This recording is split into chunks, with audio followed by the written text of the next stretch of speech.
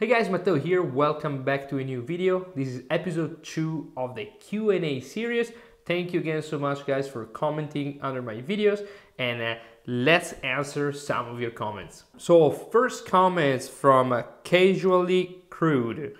What's the best editing laptop to handle this camera video quality is referring to the Ursa Mini Pro 12K and also the Pocket 6K. So I don't know what is the best laptop, but I can tell you that for me, my MacBook Pro M1 Max is working perfectly fine. I'm able to edit 12K Ursa Mini Pro footage in an 8K timeline without any issue. Of course, Pocket 6K footage in a 6K timeline like butter. I have it connected to my Apple display, so it works like a desktop if I need to to stay home, but I also can take it with me and travel around the world without any issue. I can edit on the go, 12K footage, no problems. Second question, and uh, this guys is a question, is a comment that I see all the time under every single video that I posted. T1 Media asking, what timeline setting do you use? Gamma, color manage, Timeline setting, I set it up to 4K 24p. That's it. I don't touch anything else. I leave everything as a default resolve setting, so don't touch anything there. Gamma, I don't touch anything there neither.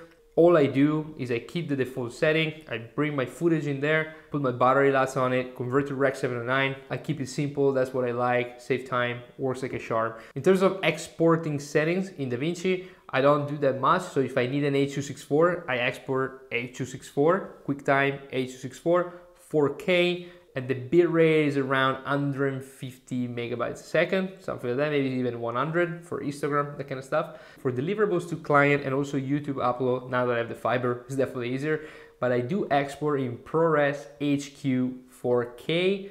That's about it. Sometimes I also export in 6K nothing else. I do use cost and quality and I don't touch anything at all and it's been always working great for me. Another question from Dionisio Apandro. Hi Matteo, curiosity, is the MacBook Pro reliable to do color grading work? This is a massive debate, there's a massive topic, but in short, Yes, so you know my friend Rafi, we make the Buttery LUTs together. He's a top D18 LA. He has three Flander, Sony, and he tells me that every time he has to do like a deliver or checking out some colors, the you know he use the Flander for sure, but then the last color check he does is on the MacBook because mainly everything is online right now.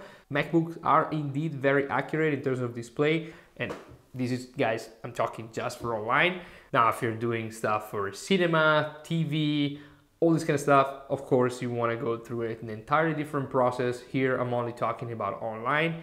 And yes, for online, MacBook Pro are perfect. Next comment from Randy Ruiz. Question, I have the Blackmagic 6K Pro and I black balance my camera. I still get a lot of noise in the shadows and in the black. Any recommendation, I used to have the Blackmagic 6K, never had that much noise like I do with the Pro. In this case, guys, I think you should contact the Blackmagic supports. They might gonna be able to help you out. This might be a faulty unit. It depends from the situation. But you know, sometimes I hear people shooting in the pitch black and expect no noise at 3200 So keep in mind, guys, if you don't have any light, if you're super underexposed, you always gonna have noise. Now, if you have noise in bright daylight at ISO 400 and it's very noticeable, at that point, yes, it is a problem with the camera, with the sensor, you might need a replacement. Next comment, Marco Graziani Film. Were you already aware about the style of the video you will shoot back in the day? Or you did a little bit of everything at the beginning of your career? Now, very simple answer, yes, I did a little bit of everything. I started in clubs doing after movies video because at the time uh, before becoming a filmmaker I was a DJ so all my network was around the clubs. I was also a PR so I knew pretty much everyone. When I started to make a video I started calling people and asked them if they wanted an after movie. Then from there I moved to little music video corporate video commercial weddings events. I was getting everything I could. Of course you have to pay the bill gear is expensive and I wanted to make some money. So I took everything, I did a lot of experience. I also think it's interesting to get pretty much to do a little bit of everything at the beginning because you can check out what you feel more comfortable, what you like better, and then you decide where you want to go. Next comment from Jacob Centeno. Uh, do you tend to include grip lighting as well in your day rate? I did it at first, but then my company grew and acquired more gear, but I kept my day rate at 1500. I learned pretty fast that I need a PA or two, so I might have to raise my rate, but business is a little bit slow. And the answer I think is pretty straight. Yes, I do think you should raise a little bit your price. It depends what you acquire. So if you're showing up on set with a 600D, a 300D, stands and all this kind of stuff, I think you should charge a little bit more because of course you did spend some money and you should try to make the money back. If you keep your same rate, you're basically never paying off that gear. So even if it's $100, I will try to raise it a little bit. Now, for the second part of the question regarding PA, you're absolutely right. Sometimes people forget that, yeah, maybe you get a light, a second light, sandbag system, at that point, if you want to move fast on set, even if you don't want to move fast,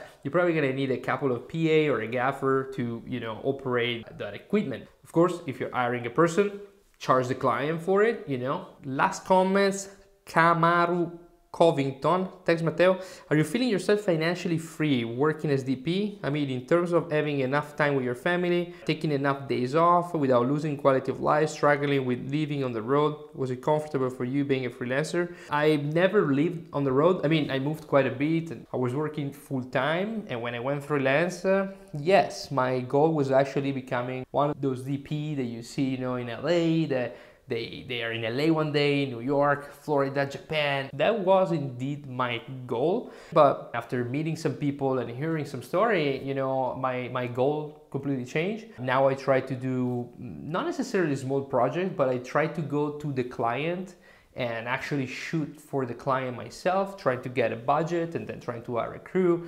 And you know, if there is a cool project that they hire me as a DP, that's fine. But just the thought about living my life on a plane, catering every day, eating out, no workout, You're always on the move, you're always working, you're always traveling. And the problem is that you're not gonna even use the money. You can't take day off because if you take days off, you kind of lose your your circle. They're gonna call another DP. They're gonna cut you out. So you can't really, you know, you always have to work, work, work, or otherwise you're gonna miss the train.